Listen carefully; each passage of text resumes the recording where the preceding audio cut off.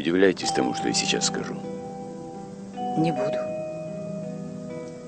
Останься. Навсегда. Иван, я... Я предлагаю тебе руку и сердце. Подожди.